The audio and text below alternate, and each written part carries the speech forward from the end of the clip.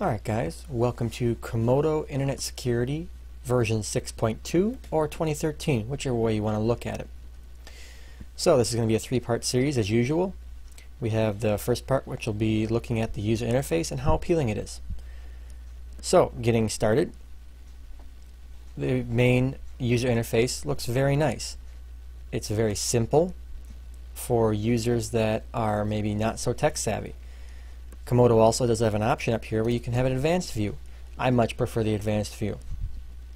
Also down here at the bottom you have nice big buttons for your common tasks. You can also remove these tasks from the taskbar down here and adjust them to your liking, which is very nice. You have different categories right here. It's all nicely broken down. Your antivirus, auto sandbox, and firewall category. You can also adjust the antivirus, auto sandbox, and firewall categories from the main interface, which is really nice. It also comes with a HIPS engine too. If you click on the tasks button over here, you'll notice it'll swing around and we'll start up at general tasks here. You get your scan, update, quarantine, logs, connections, all your general tasks in one little area. If you click on the firewall task, tasks, then you'll get, you can allow applications, block applications, and manage networks and also open advanced settings for the firewall specifically. Sandbox tasks, you can run a virtual kiosk. Now this is very interesting because that the virtual kiosk basically is a fully virtualized environment in which you can do anything you want. You can run any program you want and it's isolated from your actual system. So let's say you run a piece of malware in there and you, inf you infect your computer. Well, in reality you haven't, because if you just close out the virtual kiosk and go down to where it says Reset Sandbox, this will reset all the data in the sandbox and clean it out. It literally erases everything within there, and your system will be clean once again. So that's a very nice feature that Comodo has. And then in the advanced tasks, you can create a rescue disk if your computer were to be, un be unbootable, um, which if you're running Comodo, it would most likely never become unbootable because of Comodo's Auto Sandbox. This is more for if you're installing Comodo on a computer that the existing legacy antivirus product has failed. You can then use a clean computer, install CIS on there, or Comodo Internet Security I should say, and then run the Rescue Disk wizard to create your Rescue Disk. Cleaning Essentials is basically the same thing, just without the Rescue Disk. You can install Comodo on any computer and run a Cleaning Essentials. Watch activity is basically just the best way to describe it is Task Manager on steroids. It gives you a whole bunch of information that Task Manager doesn't about all the processes running on your computer. If we open the advanced settings window, we will notice that well, once it opens up here, there we go. It's on a virtual PC, guys. Sorry, it's kind of slow. Um, it's very nicely put together. You got your tabs on the side here with all your options for user interface, updates, logging, configurations, the security settings. You can go to real-time scanning settings right here. And then we got scan settings. You can create custom scans to scan specific areas of the system or you can edit existing scans. Your exclusions tab so you can exclude certain files or folders from being scanned. Then Defense Plus. This is where all the magic happens in Comodo.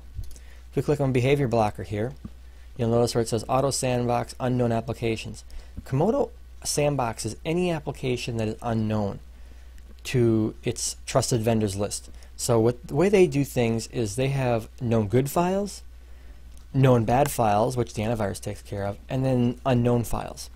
Now typical antivirus programs just let these unknown files run rampant on your computer. If it says, okay, I don't know you're bad, so I'm just going to let you run. That that's basically what it does on your computer. And if you run a piece of ransomware, let's say, and it, that legacy antivirus product doesn't have a signature for it, you're going to be in a world of hurt because your computer is going to be kind of unbootable and possibly lose data due to encryption. So that's where this comes in handy. However, I think partially limited is a little too lax on the security of the sandbox because I know in the past, uh, reading on the forums, people have said that some, I believe, some keyloggers can actually get past the partially limited um, virtualization of the sandbox. but limited fixes that. So I really think that they should make the default limited, but you can still keep partially limited for people who are necessarily don't need that much security and like to install programs and you don't want them to have problems. I just think that they should up the default to limited. Um, I personally keep mine at untrusted on some of my computers. In other computers, I also run fully virtualized, which means any application that is unknown will be automatically sandboxed and fully virtualized, where you can use that reset or erase changes button, I should say, and it'll reset the entire sandbox, and any infections will be gone, and any changes those infections made will also be gone. So, moving on, um, we got a HIPS engine right here. HIPS are disabled by default. Reason being is the sandbox takes care of everything on the system. Um, the only thing about this is if you don't have HIPS enabled and you use kill switch to try and block a process from ever starting up again, it won't work. You have to have HIPS enabled to do that. I really wish they would make a workaround so that you don't have to have HIPS enabled to do that. Um, maybe that's in the future. They'll do something like that though. Moving on to the sandbox task right here. You can add manually programs to sandbox or you can manually add programs to the sandbox to keep an eye on them and also you can adjust the restriction level manually and the amount of memory they can consume and other settings. The firewall tab here gives you a list of firewall settings and once again here is the VPN service that Comodo offers. You can edit trusted app or you can edit application rules, global rules, rule sets, network zones, and port sets. So this is a very advanced firewall, and Comodo has one of the best firewalls out there um, from what I've read online. And then they also have introduced a file rating system, which has um, cloud antivirus, or looks up basically files and their reputation inside the cloud, and helps determine whether to um, how to control those files. And then Comodo also has the trusted vendors list here.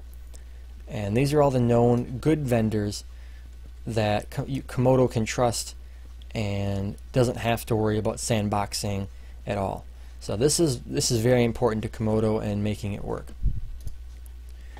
And that is basically the user interface of Comodo.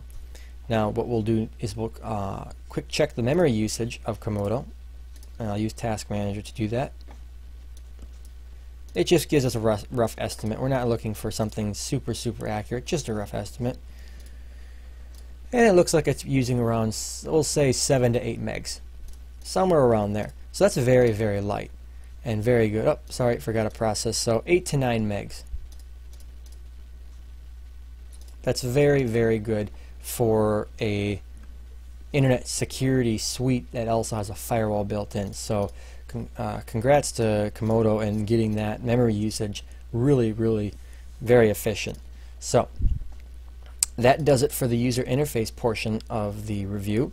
Next up, we will do the active malware links and see how well Comodo can fare between 10 malicious, I should say, against 10 malicious URLs. So, I'll be right back, guys.